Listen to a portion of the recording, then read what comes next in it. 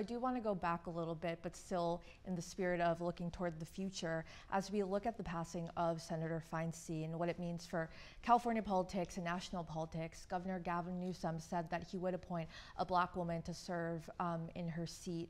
Um, and Representative Barbara Lee, who's running for the Senate, has said and argued against the notion of a caretaker you know, being put um, into her seat, and it's insulting to the people who want effective long-term representation for African Americans in California. So I would like to know what is your perspective on the situation, and who would you like to see Governor Newsom place in that seat? Well, I think uh, Congresswoman Lee is a very dear friend. Her her district is right next to mine. Uh, we work very. I have enormous respect. Uh, just another like Senator Feinstein, a real trailblazer in the standard of California and California women, along with Nancy Pelosi and others.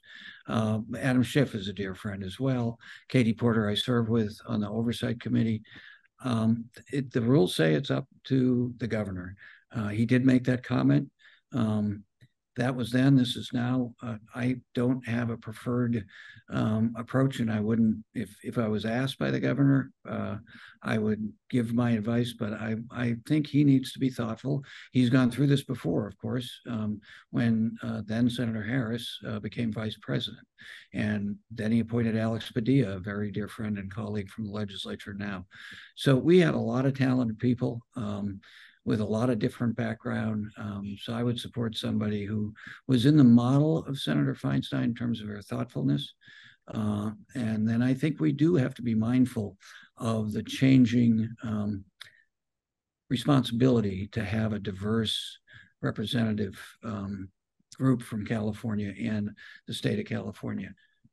There are a lot of talented people, um, and they represent many different perspectives. Barbara, one of them, Adam, one of them, Katie, of course, one of them. So I don't have a preferred person. I've really been focused for a long time on respect for Senator Feinstein, and I was critical of people who asked for her um, resignation. We as voters knew how old Senator Feinstein was. We should have known, and many of us did obviously know that it was a six-year term and her health conditions.